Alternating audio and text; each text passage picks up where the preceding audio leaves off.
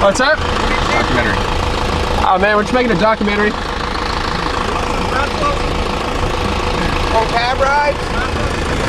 Yeah. And guys with beards. Man, want a pretzel? No thanks, man. I'm so happy we had that.